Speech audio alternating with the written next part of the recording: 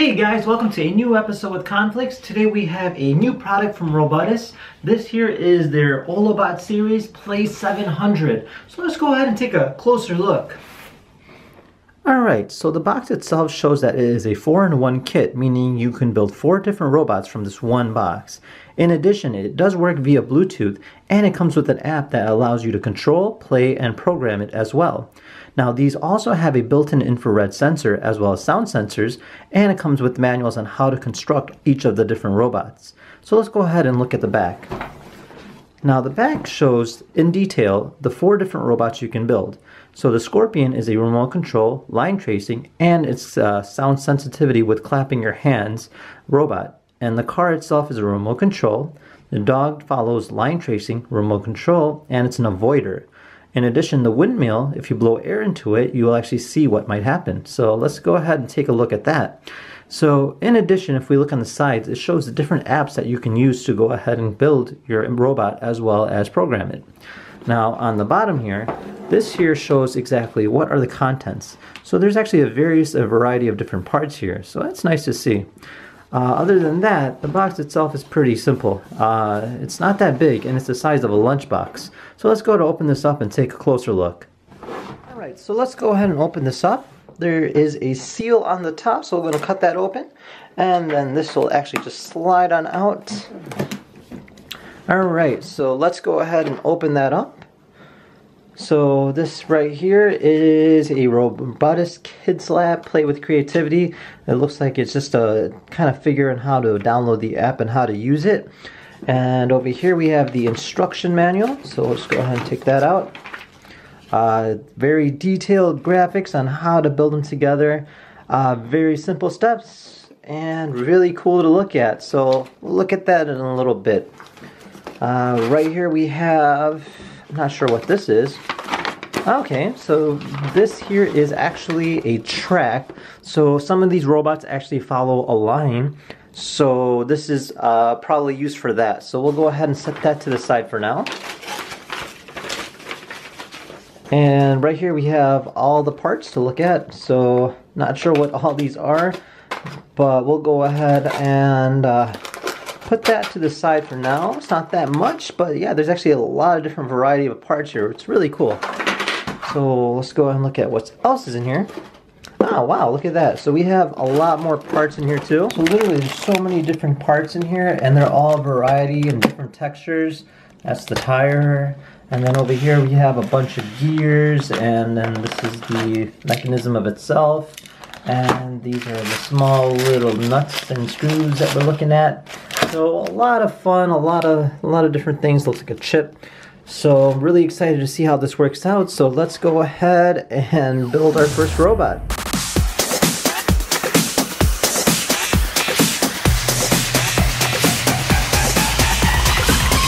So now that we have our Scorpion finally made, we can actually go ahead and do a quick test run on it.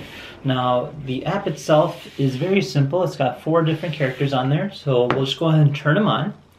It makes a little beep saying that he's ready.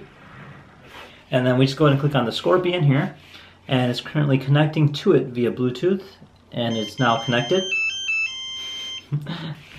and over here, uh, the menu itself is really simple. It's got directions, it's got different features where it says sound, line tracer, as well as remote. So we'll go ahead and try out the remote feature. So I'm gonna hit up, hit back, hit left, and then uh, that's pretty much it in terms of the remote. Now let's try sound. So apparently this actually has a uh, audio recognition. So if I go ahead and hit the sound button here and make a clap, and it walks. So let's try that again. So that's pretty cool uh, that it has that audio effect to it. All you do is simply just, and there it goes. so let's go ahead and try out the line tracer. Okay, so this is the sheet of paper that it came with. And now for the line sensor, there is actually a sensor on the bottom over here. So I'll just go ahead and place him on here. And he should follow it theoretically. So I'll go ahead and hit the line tracer button.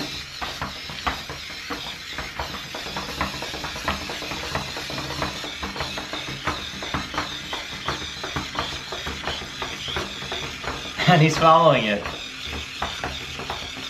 So that's a pretty cool feature that it's able to do that. We'll go ahead and stop that. And there you go.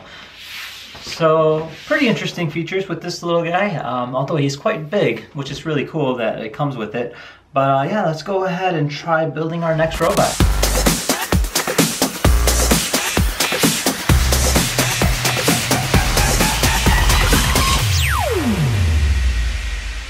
So now that we have the dog ready here, we can go ahead and activate the app. First we'll turn on the dog on the bottom here, and then we'll go ahead and connect the phone to it. And it is now connected. Alright. So we have a few different features. Uh, same thing with the remote. There's a line tracer as well as a line avoider. So let's see how this works. So let's do the remote first. oh. it's actually pretty quick. Alright, so let's go ahead and try out the line tracer and the line avoider button. So I'm going to go ahead and put them on here first and click line tracer. Alright, so then I'll just go ahead and hit the button line tracer and he'll just go ahead and follow that line the same way the scorpion did.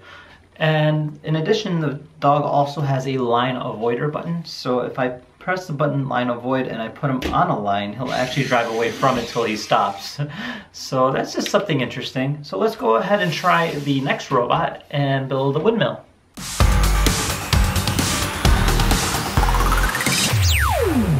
Alright, so now that we have the windmill finally made, we can actually go ahead and try out the feature of being able to blow into the phone, causing the windmill to spin. So let's go ahead and try that out.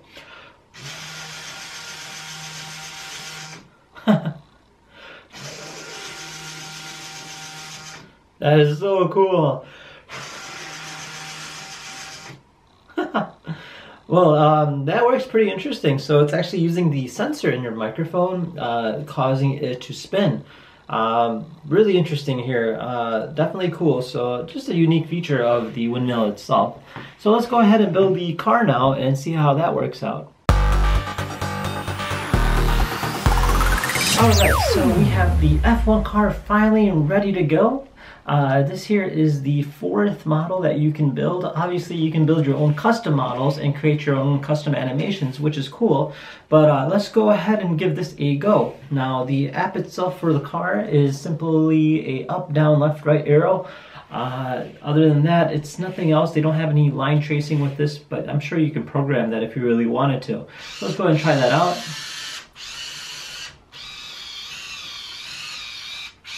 It's interesting how the steering is in the rear tires. Literally, it looks like one is spinning counterclockwise while the other one's spinning clockwise.